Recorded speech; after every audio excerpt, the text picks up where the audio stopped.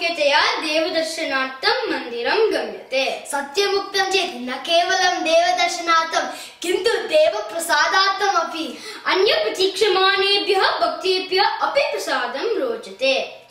एकस्मिन् दिने प्रसादं खादिता मया चिन्तितः कथम् उत्कृष्टं पञ्चामृतं क्रियते इति प्रश्नः उत्पन्नः। पञ्चामृतस्य विधिः कः?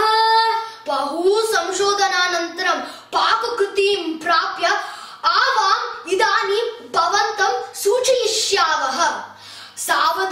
सावधानेन शृण्वन्तु सावधानता आवश्यकी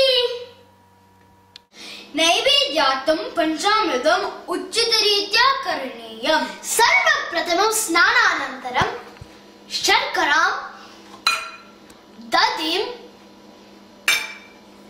क्षीरं मधुं घृतं च संस्थापयन्तु ततः प्रभृति सम्यक् मिश्रणं कुर्वन्तु Pavan, Pavan!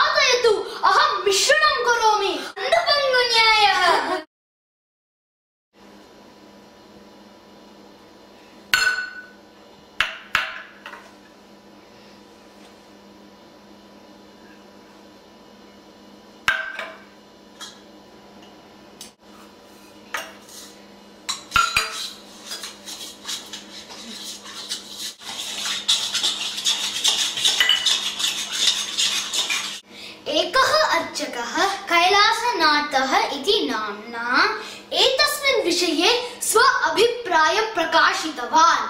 सः उक्तवान् सञ्चिन्न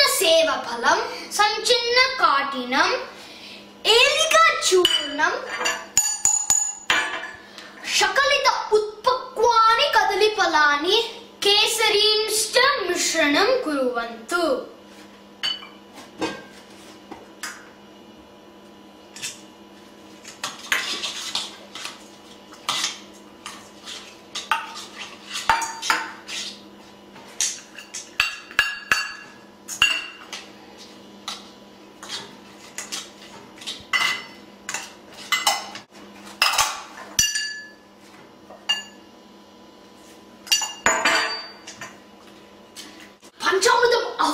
महत् सुखं जायते। बहु रुचिकरम् इति भाति नैवेद्यानन्तरं पश्यामः। इदानीम् आगच्छतु। आवां देवाय समर्पयावः। ॐ सत्यं वटेन परिचिन्तामि। ॐ प्राणाय स्वाहा। ॐ अपानाय स्वाहा।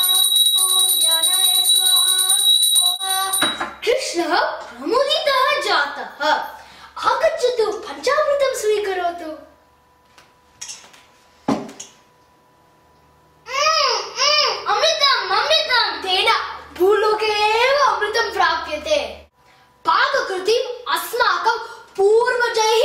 कृतमस्ति सुलभा अपि अस्ति।